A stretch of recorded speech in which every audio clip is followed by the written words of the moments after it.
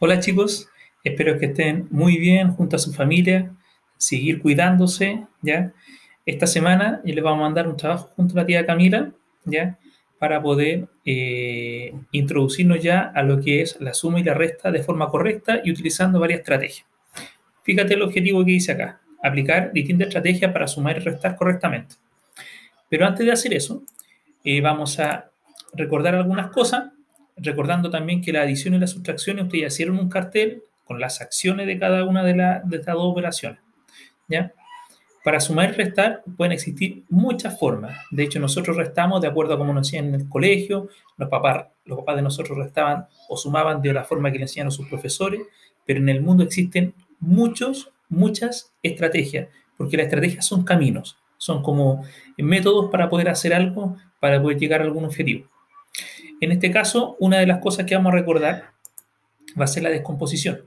¿Qué es la descomposición? Desarmar un número. En este caso, tenemos eh, dos formas de descomponer un número. La primera que vamos a ver acá dice según su posición. El 72 tiene dos dígitos, tiene el 7 y tiene el 2. Pero el 7 está en un lugar específico, en la decena, y el 2 en la unidad. Por lo tanto, se puede descomponer así. 7 decenas más 2 unidades. En la letra B hay un segundo número. ¿Cuál es? El 16. Y el 16 se puede descomponer también porque el 1 está en la decena y el 6 en la unidad. También se puede descomponer, ¿te fijas? Y en la letra C hay un siguiente número que se lee 37. El 3 está en la decena y el 7 en la unidad. Hay una segunda forma de poder descomponer eh, un número, desarmarlo, ¿ya? según su valor posicional el primer número que aparece en la letra A, el 72. Para poder desarmarlo, ya tengo que saber cuánto vale ese 7 y cuánto vale el 2. Para que se lea 72, el 7 tiene que valer 70 y el 2, 2. ¿Se entiende? En la letra B tenemos el 16. Para que se lea así y de forma correcta, el 1 tiene que valer 10 y el 6, 6. Y en la letra C, ¿cómo se lee ese número? Bien, 37.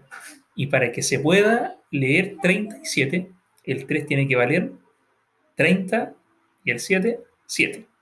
37. ¿Ya? Ahora vas a trabajar en tu cuaderno. ¿En qué cosa? En las actividades que yo te voy a proponer, que es descomponer números.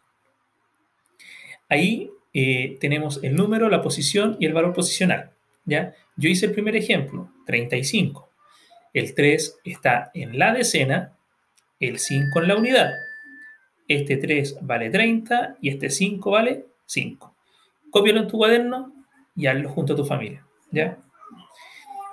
Después de ello, te vamos a colocar también aquí algunos desafíos que tú puedes hacer también junto a tu familia, ¿ya? Recordando que este 33 se descompone en 30 más 3 el 26, 20 más 6, y este número que es 52, 50 más 2. ¿Qué número estará oculto acá? En 10 más 9. Yo creo que ya lo sabes. Hazlo en tu cuaderno también. Una tercera forma de poder descomponer los números es usando los bloques multibase. Yo creo que esto los conociste el año pasado y el año antepasado con la tía Daisy, que son los recortables que aparecen al final de tu libro. ¿ya? Fíjate acá, una tableta grande, eh, perdón, una barra grande de color rojo, ¿ya? Se conoce como una decena. ¿Por qué? Porque vale 10. Y ese cubo pequeño celeste se conoce como unidad y vale, en este caso, vale 1. Fíjate la actividad que tenemos a continuación. En la número 1 tenemos una barra grande que valía 10 y tenemos 5 cubos pequeños que valía cada uno 5. ¿Qué número será el que está acá? 10 más 5, 15. ¿Qué número va en la decena? 1. ¿Y qué número va en la unidad? 5. Una siguiente actividad.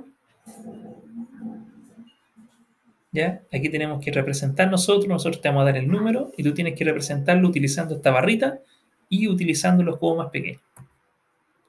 Cópiala en tu cuaderno esa ya.